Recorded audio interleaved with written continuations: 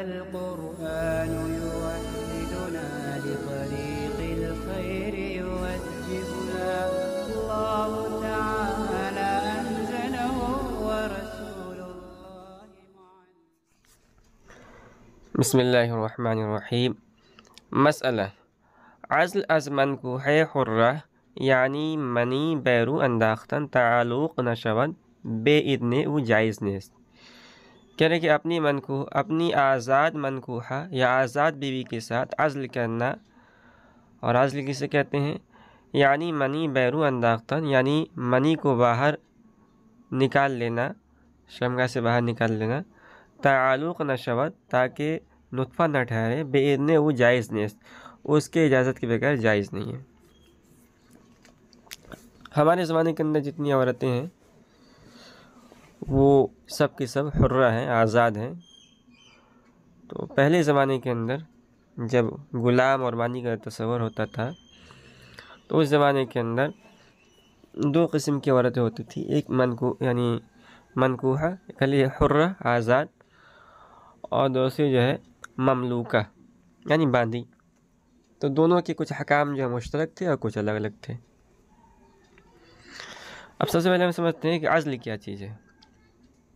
तो इसकी वजाहत मुसनम ने की है, यानी मनी बैरू अंदाख्तन, यानी मनी को बाहर निकालना ताल्लुक़ न शबत ताकि नुतफ़ा न ठहरे। तो जो अल्लाह रबुल्ज़त का, यानी निज़ाम है कि मर्द औरत जब आपस में मिलते हैं और मर्द का मादा बनोया औरत के रहम के अंदर जाता है तो उससे बच्चा ठहरता है। नुतफ़ा ठहरता है, फिर उससे बच्चा पैदा होता है। अब कदीम ज़माने से ही तस्वर था कि अगर किसी को अभी फ़िलहाल बच्चा नहीं लेना है। तो वो आज़ल करते थे। हमारे ज़माने के अंदर उसी की जो तरक्की याफ्ता शक्ल है कि आदमी कंडोम का इस्तेमाल करता है। लेकिन उस ज़माने के अंदर क्या करते थे? आज़ल करते थे। कदीम ज़माने से ही। आज़ल के अंदर क्या होता था कि औरत और मर्द जब जमा करते थे तो मर्द इंजाल के वक्त अपने उजवे तनासिल तो को औरत के श्रमगाह से बाहर निकाल कर मनी को बाहर निकाल देता था। अब जब मनी ये रहम के अंदर जाएगा ही नहीं तो आलूक होगा ही नहीं और बच्चा भी पैदा नहीं होगा। तो अब इसके अंदर क्या होता था?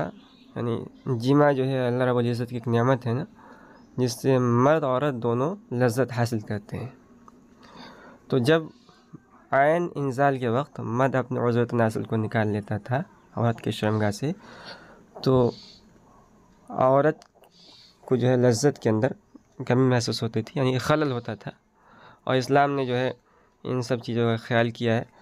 तो इस्लाम ने हुक्म दिया है कि अगर मर्द को अज़ल करना है और उसकी बीवी हर्रा है, उस ज़माने के अंदर जो हर्रा और ममलूक, ममलूका का तस्वर था, आज़ाद औरत और मादी का तस्वर था तब, हमारे ज़माने के अंदर तो सबके सब आज़ाद है। तो हमारे ज़माने के अंदर अगर मर्द अपनी बीवी से अज़ल करना चाहता है तो उसकी इजाज़त के बाद अज़ल कर सकता है। पहले इजाज़त ले जो है मैं अज़ल करना चाहता हूँ, या मैं कंडों में इस्तेमाल करना चाहता हूँ।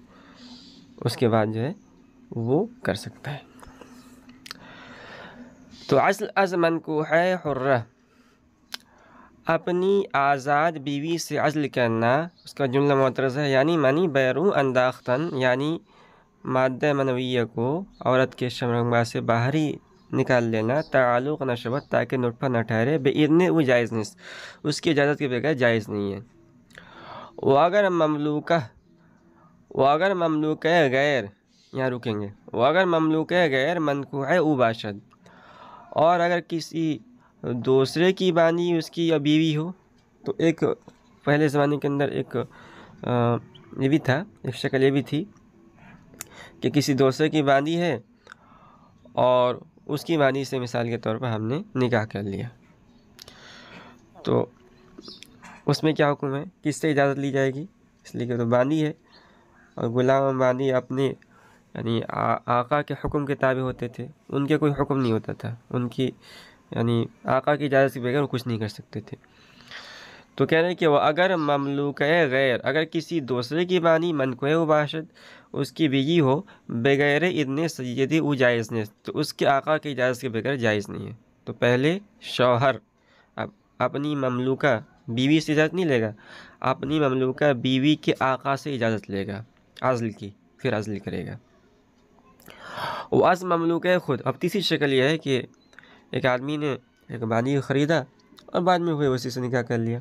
वो अज़ ममलूक ख़ुद बेइदन बेइदन जायज़ कह रहे हैं कि अपनी खुद की बानी से हाँ निकाह करके करे या बगैर निकाह के बानी के तौर पर उससे जिमा करे। वज़ ममलूक ख़ुद बेइदन बेइदन जायज़ और अपनी बानी से बगैर उसकी इजाज़त के जायज़ है। ये मसला यहाँ पूरा हो गया। इसलिए कि वाक़ा है और आका जो है, जब मालिक है तो मालिक की इजाज़त की ज़रूरत ही नहीं है। मसला, अगर कसे कनीज़रा, बशीरा, या हिबा, या इर्थ, या मानिंद आ मालिक शुद्ध। कह रहे कोई किसी बानी का मालिक हो गया। अब मालिक होने की कई शक्लें हैं। पहली शक्ल है बशीरा। ख़रीद लिया उसने। ख़रीद होकर, ख़रीद कर मालिक बन गया। या हिबा, या किसी ने हिबा कर दिया। तो हिबा के अंदर ये होता है कि आदमी है और मिसाल के तौर पर कोई दोस्त है, उसने कोई मानी है उसकी, उसने जो है कहा कि भाई, ये मेरी तरफ़ से हिबा है। अब हिबा के अंदर कोई ये नहीं होता। है देखिए, तीन चीज़ें एक तो हिबा है और उससे ऊपर है हदिया और उससे ऊपर है सदका। सदका के अंदर ये होता है कि अल्लाह रबुल्ज़त की खुशनुदी मतलूब होती है असल। अल्लाह की रज़ा के लिए आदमी करता है। और हदिया के अंदर क्या होता है कि असल ये होता है कि जिसको हदिया दिया जा रहा है, उसको खुश करना असल मकसद होता है, उसको खुश करना। आदमी स्वाब की नीयत कर ले स्वाब भी मिल जाएगा। और हिबा के अंदर कुछ भी नहीं होता है। बस आदमी किसी को कोई चीज़ दे देता है। तो इसमें जिसको हिबा किया जा रहा है, उसकी ताज़ीम भी मकसूद नहीं होती है। बैन मैन समझिए होता है। तो किसी ने किसी को हिबा कर दिया। या इर्थ या मिसाल के तौर पर वरासत के अंदर बहुत सारे माल के साथ किसी बानी का मालिक हो गया। बैरकैब या मानिंदा, या इस जैसा कोई और कोई शक्ल हो, मिसाल के तौर पर हदिया है, या सदका है। तो किसी तौर पर अगर कोई किसी बानी का मालिक हो गया तो कह रहे हैं कि वती आ वती आ जायज़ नहीं तो फ़ौर मालिक होते ही उस बानी के साथ वती करना जायज़ नहीं होगा। इसलिए कि इस्लाम में तवालुद व तनासुल को, यानी नसब को कह लीजिए, बहुत अहमियत दी गई है। अब मिसाल के तौर पर अगर वो बानी से किसी ने पहले से वती कर रखी है और उससे जो है हमल ठहरा हुआ है, अब ये भी फ़ौर जमा कर ले तो अब मालिक मालूम नहीं होगा कि जो बच्चा है उस बानी के पेट में वो किसका है। तो कैसे मालूम होगा कि ये बानी हामला है या नहीं है? तो उसके लिए इस्तबरा की ज़रूरत पड़ेगी। नहीं, देखा जाएगा कि ख़रीदने के बाद उस बानी को हैज़ आया कि नहीं। अगर हैज़ आता है तो इस बात की अलामत है कि वो हामला नहीं है। और अगर हैज़ नहीं आता है तो इस बात की अलामत है कि वो बानी हामला है। अब इसके लिए वती आका के लिए जो मालिक बना है उस बानी के साथ। वती जायज़ नहीं होगा ताकि वज़ हमल ना हो जाए। वती यहाँ जायज़ नहीं तो उसके साथ वती करना जायज़ नहीं होगा। व न दवाइए वती व न दवाइए वती, और न दवाइए जिमा। दवाइए जिमा जैसे जो है, बहुत से किनार होना तो ये सब भी जायज़ नहीं होगा। आके दरमिल के ऊ यक हैज़ कामिल याफ्ता शवन। यहाँ तक कि उसकी मिल्कियत में एक कामिल हैज़ न हो, बाकी रहे। तो ख़रीदने के बाद आका की मिल्कियत में एक कामिल हैज़ गुजारेगी और जब हैज़ आ जाएगा तो पता चलेगा कि ये औरत यानी ये मानी हामला नहीं है। अब आका के लिए इजाज़त है कि उसके साथ वती करे। इसे कहते हैं इस्तिबरा।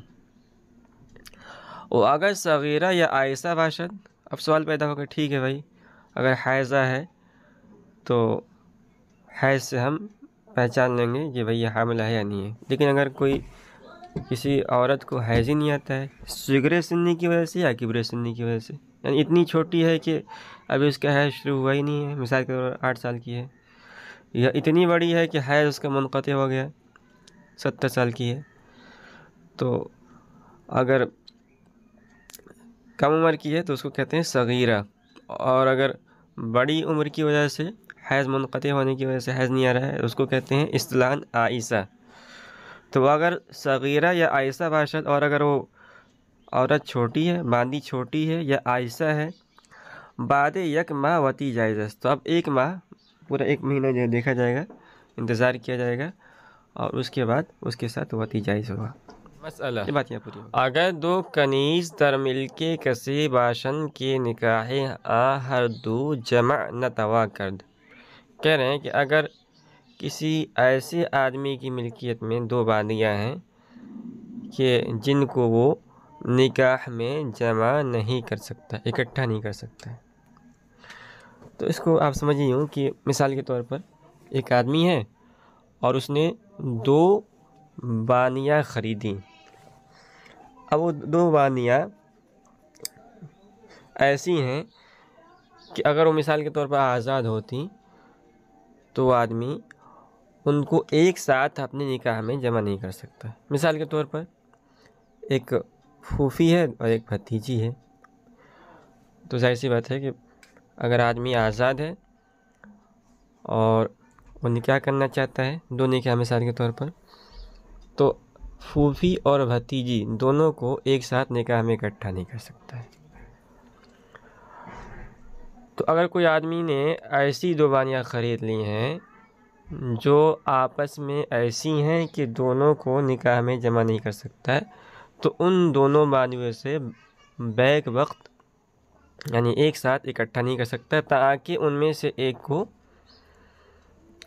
वो बेच दे या आज़ाद कर दे। बस ये छोटा सा मसला है।